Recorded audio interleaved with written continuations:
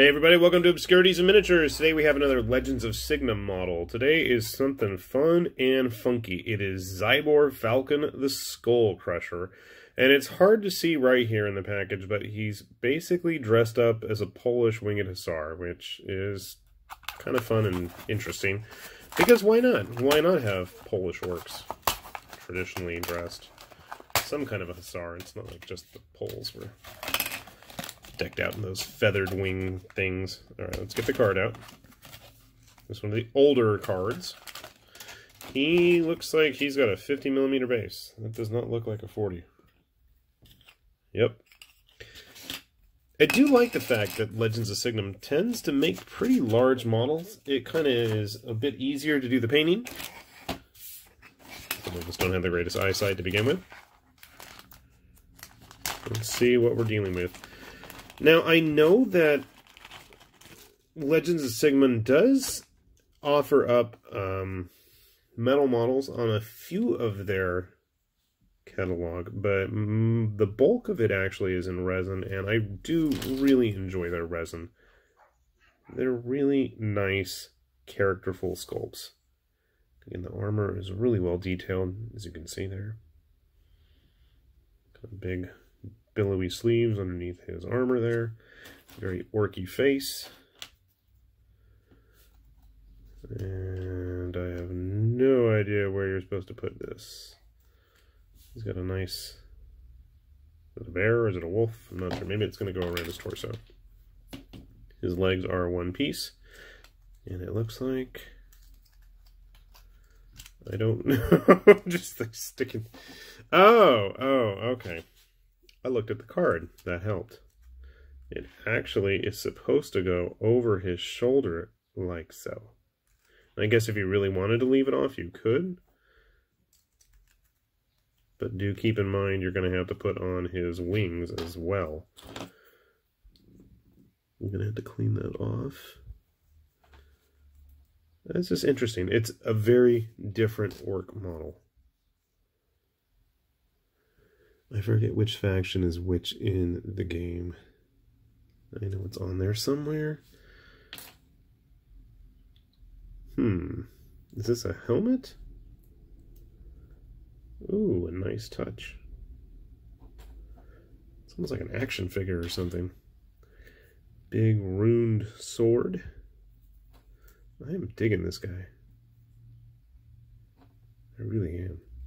You know, he's almost big enough definitely he can be used as some kind of an orc war boss and with those big fancy wings on his shoulders. I mean he's really going to stand out. You might even be able to get away with using him as an ogre. Tell you what let me get him put together. I'll go grab an ogre and see if i have any basic orcs. I think I, at least i got a sci-fi 40k boys somewhere but we'll take a look and we'll see how he is all put together. I'm thinking i might leave the helmet on. I don't know I'm rambling to myself. Anyway, I'll stop talking. I'm going to him built. So Zebor, Zybor, Zebor, I don't know, the Skullcrusher, Zebor Falcon, the Skullcrusher to be precise, is all put together here. And he went together really smooth. He was a nice model. I went ahead and just glued everything on here. You do need to glue his arm on before you put on the pelt there. It made things a whole lot easier. Now, on his wings, there were two little tiny plugs, and I thought it was actually flash or something that needed to be clipped off. Don't do it. It was actually little support rods that went inside the holes that are the guides for his wings there. And they're actually spaced apart differently, so you shouldn't have too much of an issue getting them attached. So I really do dig that. And honestly, you can probably leave off the helmet if you really wanted to. I went ahead and glued mine on, obviously. And then the tabard and everything went really nice and smooth as well. How big is he? Because, I mean, he is on a 50 millimeter base here. Well, grabbing the only orc model that I can actually find, you can see he is pretty big. So, you know, if you wanted to run him as, you know, what were they, the Krudgers or whatever, the orc warlords and kings of war that, you know, you just count him as being on uh, mount or something. He's got his magic wings. He's flying across the battlefield or something. It's just, it's a cool model. I think he's probably more in scale with like a GW Ogre. I mean, if you wanted to paint him up like an ogre, might work. But uh, oh, what is it? The Ironjaw Mega Boss. That might be a good comparable one. I think he'd be a little bit taller, but he's got the overall, the girth, the weight to him. And it's just an interesting look. You don't see many fully armored orcs, nicely armored orcs, I should say. That is a bit of a rarity. It is quite nice, quite clean. And I mean, I'd, I'd, say the only real orky embellishment would be the trophies hanging off of his wings here and on his pelt there. So, I don't know. I'm really interested in seeing if there's any actual painted models of this guy out there. I haven't come across any yet, but who, you know, who knows? Maybe mine will be the first.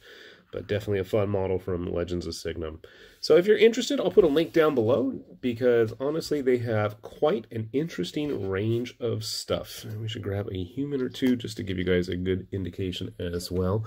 And I do actually have a couple of painted Legends of Signum models. I love this model. She is from the same game line.